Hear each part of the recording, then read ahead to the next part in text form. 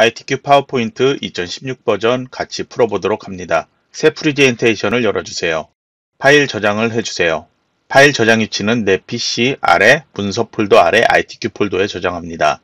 파일의 저장명 규칙은 수험번호 8자리 하이픈 자신의 성명으로 저장하고요. 파일의 형식은 확장자가 PPTX로 있는 상태에서 저장을 해줍니다. 디자인 탭으로 가주세요.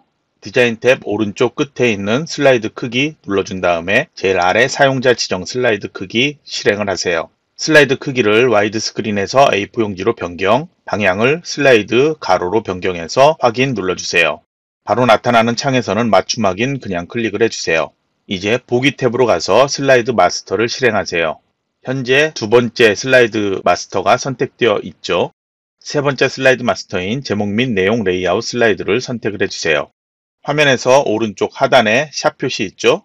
클릭해서 선택을 해주세요. 홈 탭에 가주세요. 글꼴 맑은 고딕 상태에서 글자 크기만 16포인트로 변경을 해 놓을게요. 14에서 16포인트 정도가 적당합니다. 글자의 색깔은 회색으로 보이고 있는데요. 검정색으로 변경하도록 할게요. 이 샵 표시는 슬라이드 2에서 슬라이드 6까지 슬라이드 번호가 나타나도록 해줍니다. 현재 작업하는 내용은 문제지 첫 번째 장에 있는 내용과 슬라이드 1 지시사항 상단에 전체 구성으로 표시되어 있는 지시사항을 보고 작성을 하는 겁니다. 쪽 번호는 제목 슬라이드에는 나타나지 않아야 되겠죠. 그래서 삽입 탭에 가주세요. 가운데쯤에 머리글 바닥글 있죠? 클릭을 해주세요. 슬라이드 탭에서 체크는 슬라이드 번호에 그리고 제일 마지막에 있는 제목 슬라이드에는 표시 안함 여기에 체크를 해주세요. 모두 적용 버튼을 눌러주세요. 그러면 이제 슬라이드 1에는 쪽 번호가 표시되지 않습니다. 이제 슬라이드 2에서 슬라이드 6까지 왼쪽 하단에 나타나는 로고 그림을 삽입을 할 거예요. 전체 구성의 하단 로고로 지시되어 있죠. 삽입 탭에서 그림을 클릭을 해주세요. 그림이 저장되어 있는 폴더는 문서 폴더 아래 ITQ 아래 Picture라는 폴더에 있습니다. 여러분은 교재 부록 파일 압축 풀어서 파일 불러와주면 되고요. 시험장에서는 문제지 첫 번째 장에 이 폴더 위치가 지시되어 있습니다. 그림 파일은 로고 2.jpg 파일 불러오는데요. GIF나 PNG처럼 다른 파일 형식도 있을 수 있겠죠. 그래서 모든 그림 형식을 지정되어 있는 JPG로 변경을 하거나 그냥 모든 그림 상태에서 파일 이름의 확장자까지 이렇게 입력을 해서 파일의 확장자인 JPG까지 이렇게 입력해서 삽입을 하면 실수를 하지 않을 수 있습니다. 삽입 눌러주세요. 그림이 삽입되면 바로 그림 도구 서식에서 왼쪽에 색으로 가서 투명한 색 설정 눌러주세요. 마우스로 그림의 회색 부분을 배경을 클릭을 해주세요. 배경이 투명해지면 크기를 작게 조절을 해주고 슬라이드 2에 있는 것처럼 왼쪽 하단으로 이동을 시켜 놓으세요. 이제 슬라이드 마스터에서 제목 글꼴 작성해야 되는데요. 도형을 먼저 만들어야 됩니다. 글자가 앞에 있고 도형이 뒤에 있기 때문인데요. 도형은 뒤쪽에 가려져 있는 것부터 만들면 되죠. 홈탭 또는 삽입 탭으로 가주세요. 삽입에서 도형 삽입할 수 있지만 홈탭에서도 이렇게 삽입할 수 있습니다. 뒤쪽에 있는 도형 먼저 길쭉하게 늘어나 있는데요. 블록 화살표에서 도형 선택을 할게요. 마우스로 드래그해서 적당한 크기로 만들어주세요. 도형 선 없음 지시되어 있으니까 슬라이드 마스터에서 만드는 도형은 모두 선 없음 지정합니다. 도형 윤곽선에서 윤곽선 없음을 선택을 해주세요. 도형 채우기에서 색상 변경하는데요.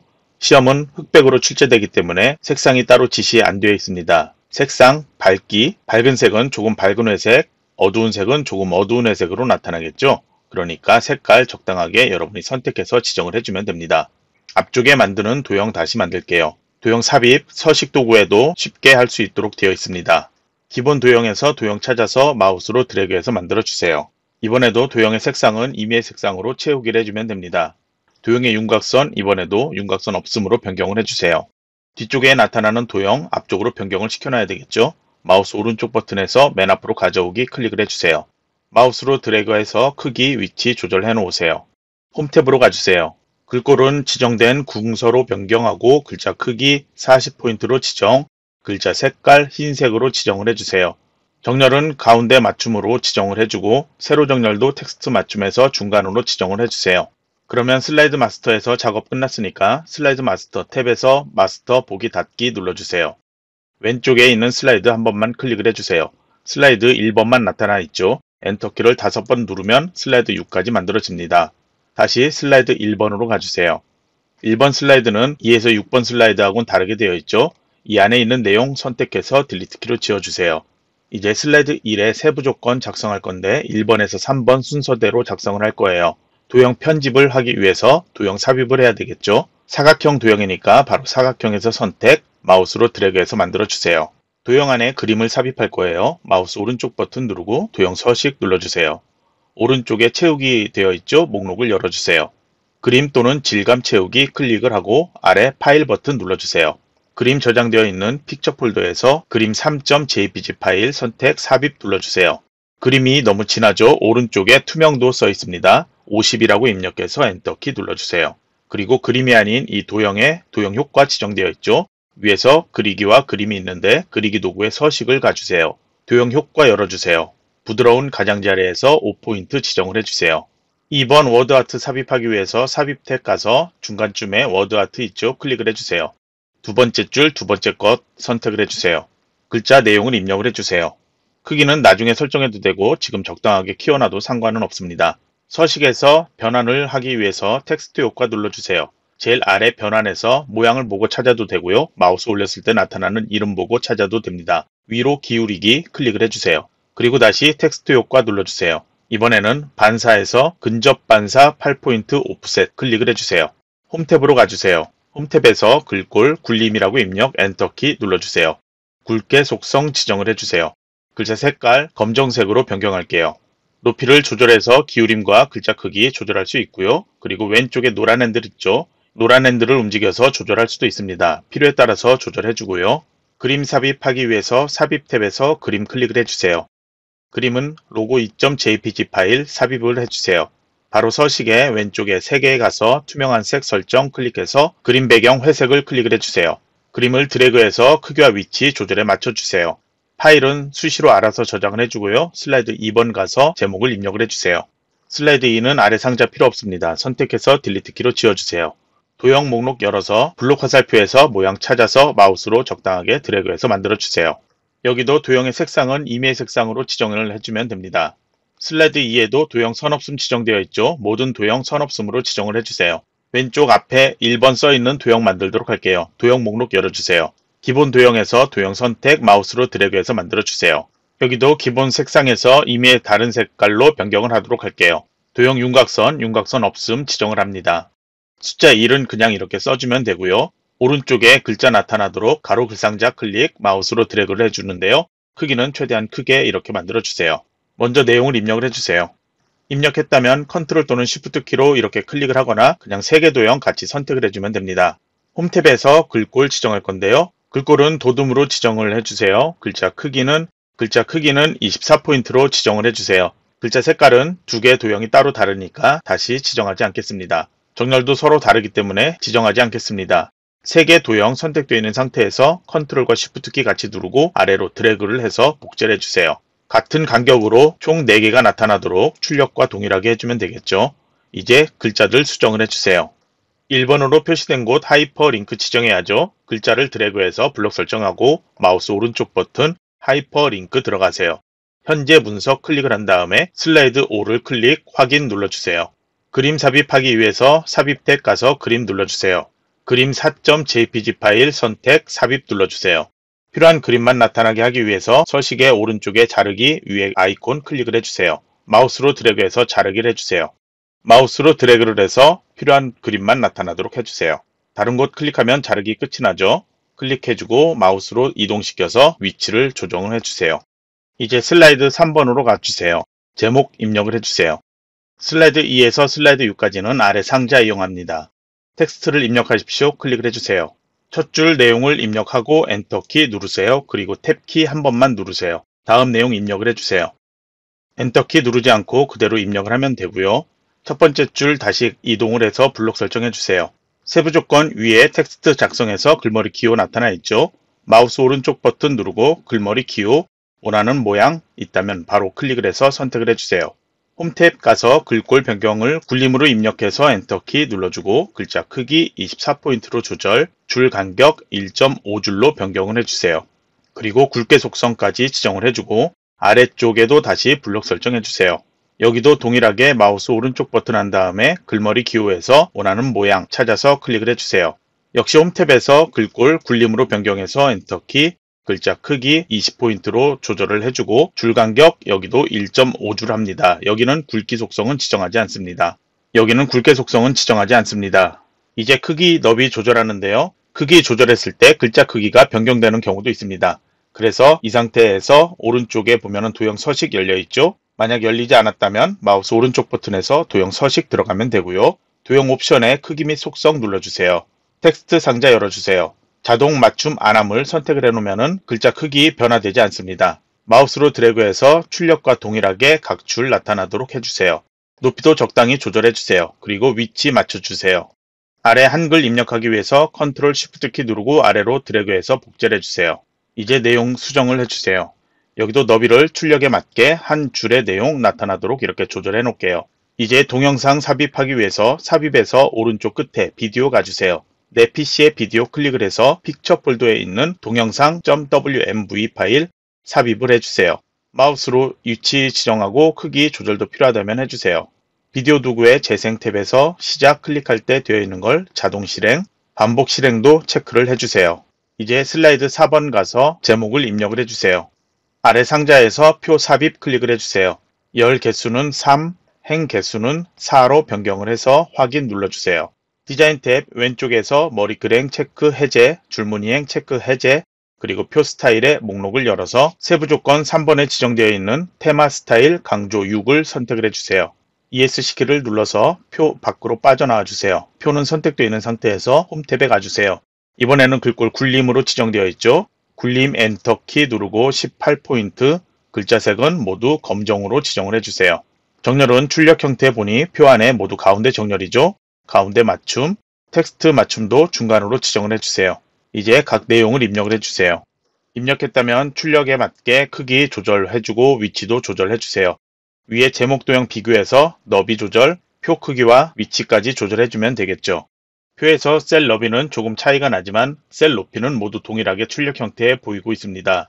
그래서 저희도 동일하게 하기 위해서 표 도구에 레이아웃 가주세요. 셀 크기에 행 높이를 같게를 눌러주세요. 이제 표 위에 도형을 만들게요. 도형 삽입할 수 있는 메뉴 가주세요. 도형 목록 열어주세요. 기본 도형에서 팔각형 도형 선택을 하고 마우스로 드래그해서 만들어주세요. 크기 조절까지 해주세요.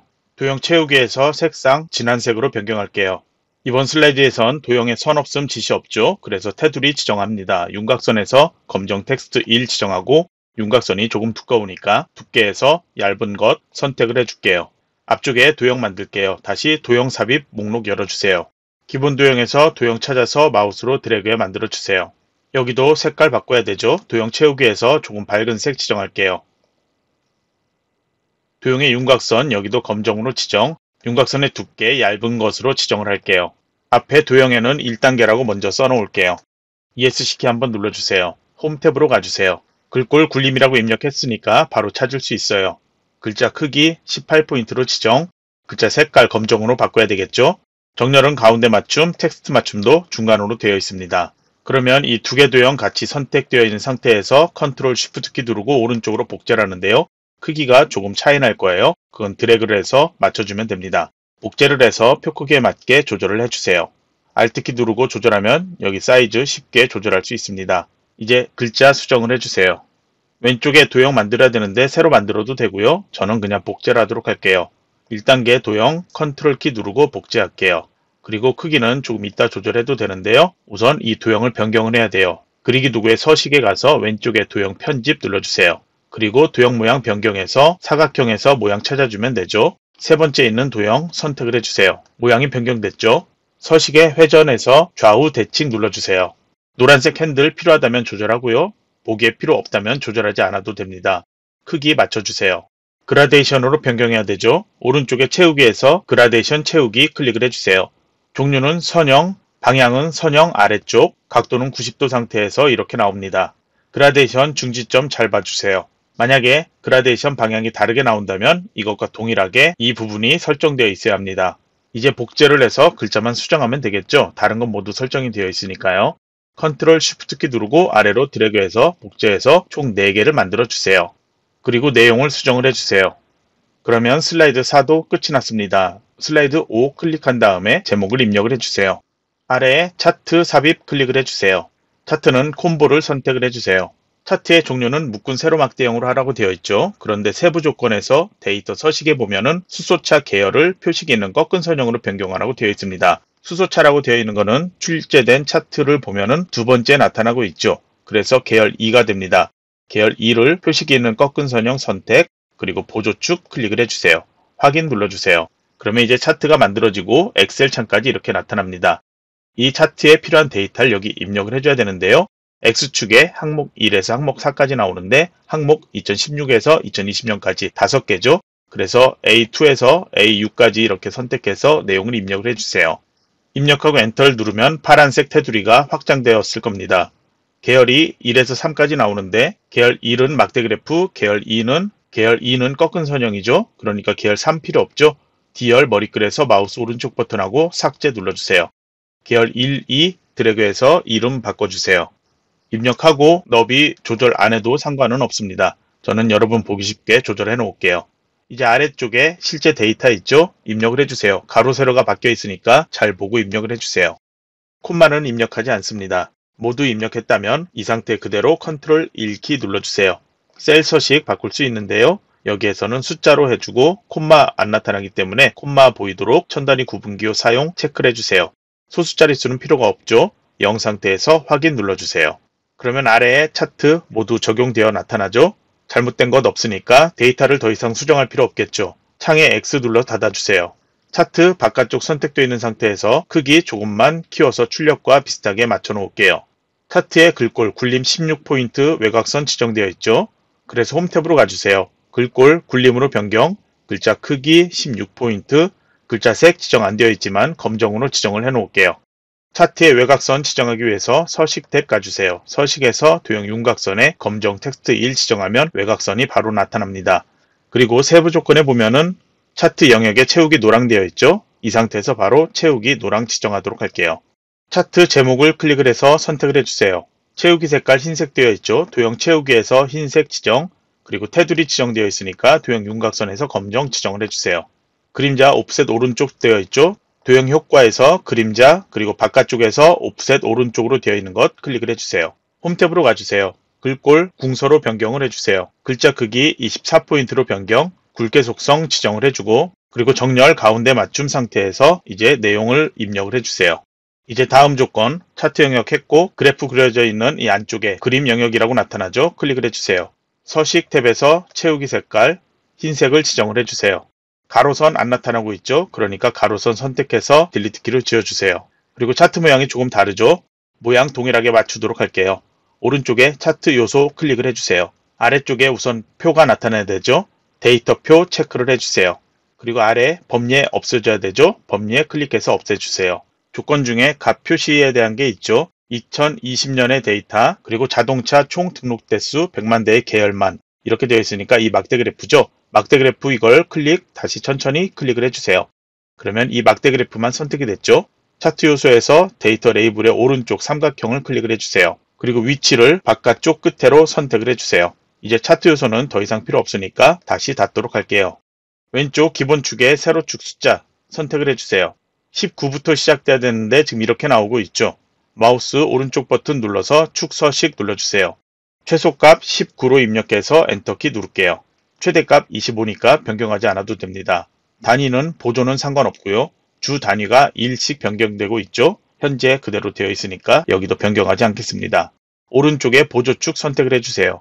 여기도 비교를 해주세요. 0에서 1000씩 바뀌고 있고요. 최대값 9000. 그럼 여기는 변경하지 않습니다. 그런데 왼쪽에 보면은 눈금선이 아주 작게 보여져야 됩니다. 현재 보이지 않고 있죠.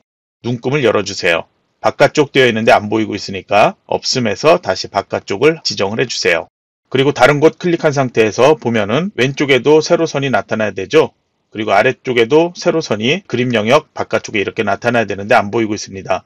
그래서 왼쪽에 선택해서 도형 윤곽선을 색깔 한 번만 지정 그리고 아래쪽 표도 선택한 다음에 다시 도형 윤곽선의 색깔 한 번만 지정을 해주세요. 그러면 선이 모두 나타납니다. 이제 표식을 조금 보도록 할게요. 표식이 동그라미로 되어 있는데 문제지는 마름모로 되어 있죠. 그래서 꺾여 있는 이 표식 부분 아무 것이나 클릭을 해주세요. 전체 5개 선택되어 있는 상태에서 오른쪽에 계열 옵션에서 채우기 및 선 클릭을 해주세요. 표식이 있죠. 클릭 그리고 표식 옵션 열어주세요. 기본 제공으로 변경 형식을 마름모로 변경하고 크기가 좀 작아서 잘 안 보일 거예요. 그래서 10에서 12 정도로 키워주세요. 막대 그래프의 너비도 조금 작게 되어 있습니다. 조금만 키워줄게요. 차트 바깥쪽 클릭해서 선택되지 않은 상태 다시 막대 그래프 한 번만 클릭을 해주세요. 그러면 오른쪽에 간격 너비를 조절할 수 있게 됩니다. 150을 입력해서 엔터키 눌러주세요. 그러면 세부 조건과 출력 형태 보이는 것대로 모두 수정을 했고 이제 나머지 도형만 삽입하면 되겠죠. 도형 목록 열어주세요. 별 및 현수막에서 해당 도형 찾아서 마우스로 드래그해서 만들어주세요. 차트의 도형은 색깔을 바꾸는데 스타일 사용하라고 되어 있습니다. 그래서 서식의 도형 스타일의 목록 열어주세요. 모양을 찾아주세요. 미세 효과 파란 강조 1 지정을 해주세요. 글꼴은 직접 지정해야 됩니다. 홈탭에 가서 글꼴, 굴림으로 변경, 글자 크기 18포인트로 지정, 글자의 색깔은 검정색 지정, 가운데 맞춤, 텍스트 맞춤 중간으로 해놓고 내용 입력을 해주세요. 이제 모두 완료했으니까 슬라이드 6으로 가주세요. 그리고 제목을 입력을 해주세요.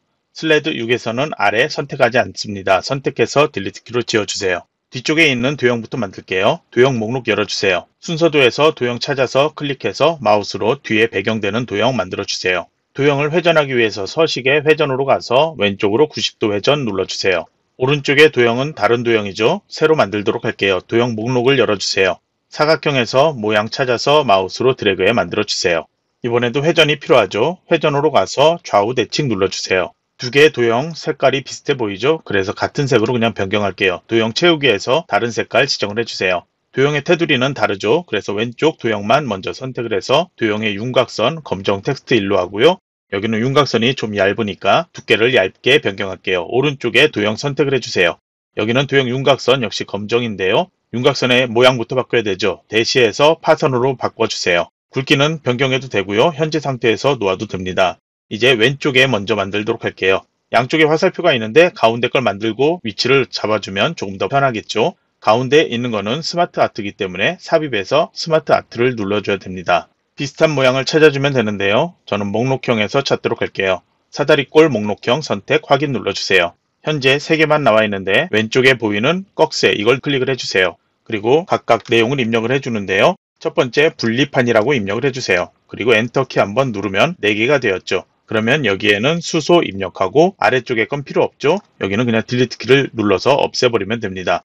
그리고 아래로 클릭해서 이동해서 다음 내용 입력을 해주세요. 동일하게 이렇게 입력을 해주면 되고 이건 필요 없으니까 안 보이도록 할게요. 그리고 크기 적당하게 먼저 조절을 해주세요. SmartArt 스타일부터 변경을 해주세요. 3차원의 만화 클릭을 해주세요. 색상이 모두 다르게 보일 겁니다.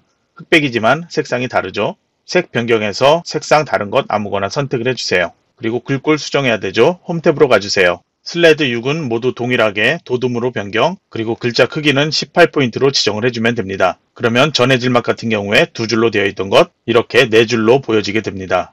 글자의 색깔은 검정으로 변경을 해주세요. 그리고 크기 정확하게 맞춰주는데요. 아직 잘 모르겠다면 왼쪽 오른쪽에 만들고 그리고 다시 조절을 해줘도 됩니다. 도형 목록 열어주세요. 블록 화살표에서 해당 도형 선택해서 마우스 드래그해서 만들어주세요. 그리고 내용을 입력을 해주세요. 그리고 크기 정확하게 맞춰주세요. 오른쪽에 복제를 하면 되겠죠. 컨트롤 시프트 키 누르고 드래그해서 복제를 해주세요. 그리고 바로 회전하면 되겠죠. 회전해서 좌우 대칭 눌러주세요. 그리고 글자만 수정을 해주세요. 도형 채우기와 윤곽선은 나머지 도형 만든 다음에 한꺼번에 같이 하도록 할게요. 이제 아래쪽에 연속이 써있는 도형 만들도록 할게요. 도형 목록 열어주세요. 기본 도형에서 찾아서 마우스 드래그해서 만들어주세요. 내용을 입력하고 아래쪽에 압축기도 만들게요. 압축기 도형도 만들어 두도록 할게요. 도형 목록에서 순서도에서 모양을 찾아서 클릭하고 마우스 드래그해 만들어 주세요. 모양을 보니까 왼쪽 도형이죠. 컨트롤 시프트 키 눌러서 오른쪽으로 드래그해 복제를 해주세요. 왼쪽 도형은 회전을 시켜놔야 되겠죠. 좌우 대칭 눌러주세요. 오른쪽에 만들어야 되는데 이번에도 SmartArt입니다. 삽입으로 가주세요. 삽입에서 SmartArt 클릭한 다음에 주기형에서 제일 마지막 것 선택 확인 눌러주세요. 아까 입력했던 것처럼 입력해도 되고요. 여기에 직접 텍스트 써 있는 곳에 클릭해서 내용을 입력을 해줘도 됩니다. 크기는 우선 비슷하게 만들어 놓고 보도록 할게요. 여기도 SmartArt 스타일 지정할 건데요. 세부 조건에 지정되어 있는 것처럼 강한 효과로 지정을 해주세요. 여기도 색상 밝기 차이가 조금 있을 겁니다. 그래서 색 변경해서 비슷한 걸로 변경하도록 할게요. 흑백으로 보면은 조금 밝기가 차이가 나겠죠. 홈탭으로 이동을 해서 글자 크기 바꿀게요. 글꼴 도둠으로 변경, 글자 크기 18포인트, 글자 색깔 검정으로 지정을 합니다. 이 세 개 상자도 내용을 입력을 해주세요. 여기도 각각 지정을 해줘야 되겠죠. 그냥 한꺼번에 드래그해서 변경하도록 할게요. 홈탭에서 여기도 글꼴, 돋움, 글자 크기 18포인트, 글자 색깔, 검정, 그리고 서식 탭에서 각 도형들 따로따로 선택해서 도형 채우기 윤곽선 변경을 해주세요. 이제 오른쪽에 도형 만들 건데요. 왼쪽에서 SmartArt 두 개가 다 사용됐기 때문에 오른쪽은 모두 다 도형으로 만들어야 합니다. 뒤쪽에 가려지는 도형부터 만들게요. 전기 뒤에 있는 화살표 만들기 위해서 도형 목록 열어주세요. 블록 화살표에서 도형 찾아서 클릭해 드래그해 만들어주세요. 그리고 회전이 필요하죠. 서식으로 가서 회전해서 좌우 대칭, 상하 대칭 또는 왼쪽, 오른쪽 해서 회전을 시키면 됩니다. 한 번에 안 되면 두 번에 나눠서 하면 됩니다. 앞쪽에 도형 만들게요. 기본 도형에서 도형 마우스로 드래그해서 만들어주세요. 우선 도형별 개별 설정 이따 하도록 할게요. 글자 입력도 이따 한꺼번에 할게요. 오른쪽에 배터리 도형 만들 텐데요. 이 도형은 모양이 많이 변경되어 있습니다. 그런 도형은 블록 화살표에 주로 있습니다. 도형을 선택을 해주고 마우스로 드래그해 만들어주세요. 그리고 노란색 핸들이 있죠. 핸들을 움직여서 최대한 출력과 비슷한 모양으로 만들어주세요. 모터 도형은 순서도에서 찾으면 됩니다. 드래그해서 만들고 아래쪽에 또 화살표 도형 있죠. 다시 도형 목록 열어주세요. 블록 화살표에서 모양을 찾아서 드래그해서 만들어주세요. 여기도 노란색 핸들 조절해서 화살표의 굵기 조절을 해서 만들어주세요. 전기 도형은 같은 크기로 아래쪽에 만들면 되겠죠. 그러니까 이따 설정 끝난 후에 복제해서 회전시켜주면 됩니다. 연료 전지 도형 만들도록 할게요. 도형 목록에서 순서도에서 모양을 찾아서 만들어주세요. 아래쪽에 LPG 도형 만들게요. 도형 목록 열어주세요. 이번에는 순서도 도형에서 모양을 찾아서 드래그해 만들어주세요. 그리고 회전해주면 됩니다. 수소 도형도 순서도에서 찾아서 드래그해 만들어주세요. 이것도 역시 산소 도형과 동일하죠. 똑같은 크기로 만들고 설정 끝난 후에 회전시켜주면 됩니다. 온수 도형 만들게요. 기본 도형이 있습니다. 클릭해주고 마우스로 드래그해서 만드는데요. Shift 누르고 하면 정확하게 동그라미 만들 수 있고요. 그냥 적당하게 정원처럼 만들어줘도 됩니다. 그러면 이제 복제할 거 빼고 적당히 우선 만들어 놨는데요. 모두 먼저 블록 설정해 놓을게요. 글자 설정은 모두 동일하죠. 홈탭에서 글꼴, 도둠으로 변경하고 글자 크기 18포인트 상태에서 글자 색깔 검정으로 변경, 온수만 흰색으로 변경해줘야 되죠. 다시 온수만 선택해서 여기는 흰색 변경할게요. 정렬은 모두 다 가운데 맞춤되어 있죠. 그러면 이제 글자 입력하고 크기와 위치 그리고 그리기 도구의 서식 탭에서 각 도형의 채우기 그리고 각 도형의 윤곽선 모두 다 윤곽선은 얇은 것으로 검정색 지정하면 되죠. 이거는 그냥 한꺼번에 하면 되겠네요. 블록 설정해서 도형 윤곽선 검정 윤곽선의 두께 얇은 것으로 지정해 놓고 도형의 채우기 색상만 각각 따로 선택해서 지정을 해주면 됩니다. 그러면 잠깐 강의 멈춰 놓고 여러분이 작업을 해주세요. 위치까지 모두 맞춰 놓으세요. 아래쪽에 수소 산소 도형까지 복제해서 회전까지 마무리했다면 이제 이 도형을 선으로 연결해야 되죠. 도형의 목록에서 선에서 꺾인 연결선 선택 그리고 마우스로 수소에 가져가면 이렇게 연결점 보이죠? 마우스 클릭해서 드래그한 상태로 쭉 가서 마우스 잡고 있는 걸 놓아주세요. 그리고 이 높이는 필요하다면 조절하고요. 필요하지 않다면 조절하지 않아도 상관없습니다. 그럼 이제 선이 잘 안 보이니까 서식에서 굵기 조절할게요. 윤곽선의 검정, 그리고 윤곽선에서 두께 먼저 굵게 지정할게요. 1포인트 정도 또는 2포인트 정도면 적당하고요. 그리고 윤곽선에서 다시 대시를 파선으로 변경을 해주세요. 너무 두꺼운 것 같으니까 윤곽선 1포인트로 다시 변경하도록 할게요. 그리고 선의 시작과 끝점, 동그라미 원이 있어야 되죠. 다시 선택되어 있는 상태에서 도형 윤곽선의 화살표를 제일 아래쪽에 있는 화살표 스타일 11로 변경을 해주세요. 이제 애니메이션 작업을 위해서 도형 그룹화를 해야 합니다. 왼쪽에서 마우스 드래그해서 왼쪽의 도형들 선택을 해주세요. 마우스 오른쪽 버튼 누르고 그룹화, 그룹 눌러주세요. 오른쪽 도형도 동일하게 드래그해서 선택, 마우스 오른쪽 버튼 누르고 그룹화, 그룹 눌러주세요. 왼쪽에 그룹화된 도형 클릭해 선택을 해주세요. 애니메이션 탭으로 가주세요. 애니메이션 탭에서 첫 번째 도형은 1번에 지정되어 있습니다. 나누기 선택, 그리고 오른쪽에 가서 효과 옵션에서 세로 바깥쪽 선택을 해주세요. 오른쪽에 2번 그룹화된 도형 선택해서 이번에는 나타내기를 애니메이션 선택을 해주세요. 그러면 만들어지고 나면은 왼쪽은 1번, 오른쪽은 2번이라고 애니메이션 번호 순서가 지정되어 나타납니다. 세부 조건 상단에 애니메이션 순서하고 동일하죠? 그러면 모두 이제 끝이 났습니다. 파일 저장을 하고 슬라이드 1에서 슬라이드 6까지 다시 한번 검토를 해보고요. 잘 안 되었다면 잘 안 된 부분만 혼자서 연습을 해보세요. 그럼 이번 시간 여기서 마치도록 하겠습니다.